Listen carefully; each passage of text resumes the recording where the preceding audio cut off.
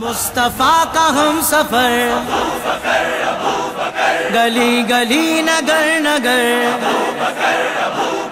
لٹایا جس نے اپنا گھر، احسان جس کا دین پر، ہے چرچ جس کے عرش پر، لگے گا نارا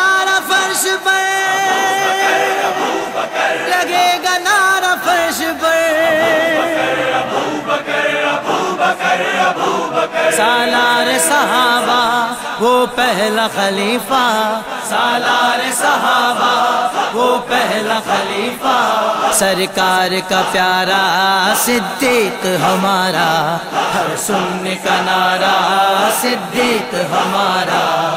ہر تیئیس فروری کو باغ فدق کے موضوع پر نہایت ہی تاریخ ساز سیمینار ہم کر رہے ہیں۔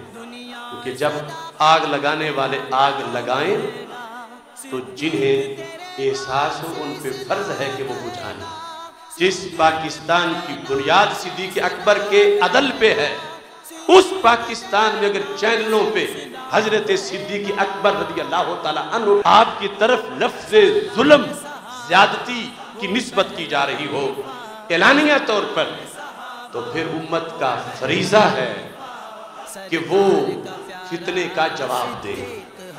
کہ امت کے اس انسان پر جس پر پورا دین قائم ہے، جن کی عدالت اور صداقت پر۔ جن کی عدالت پہ مناظر اہل بیت نے کیے ان کو سچا ثابت کرنے کے لیے۔ ان کے خلاف پاکستان جیسی سلطنت کے اندر یوں ظالمانہ گفتگو اور پراپوگنڈے ہوتے رہے۔ اور ہم صرف اپنا تقدس بچا کے بیٹھے رہے کہ کوئی ہمیں مردہ باد نہ کہے۔ ہمیں کوئی کروڑ بار مردہ باد کہے، ہم پھر بھی صدیق اکبر زندہ باد کہتے رہے۔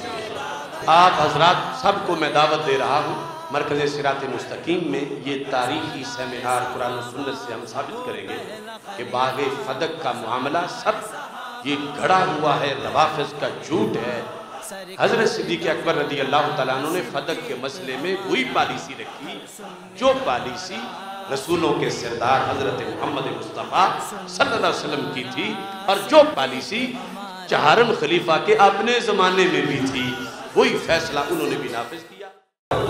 و رسالت